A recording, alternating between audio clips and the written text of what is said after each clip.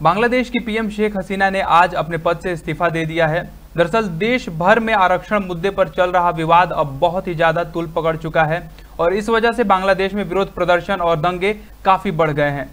इन दंगों की वजह से 300 लोगों की मौत हो चुकी है। ऐसे में शेख हसीना पर इस्तीफा देने का दबाव बनाया जा रहा है और आज उन्होंने अपने पद से इस्तीफा दे दिया है।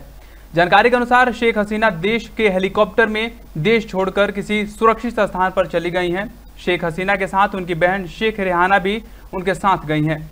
बांग्लादेश में हालात काफ़ी बिगड़ गए हैं और शेख हसीना इसी वजह से अपनी बहन के साथ देश छोड़कर चली गई हैं।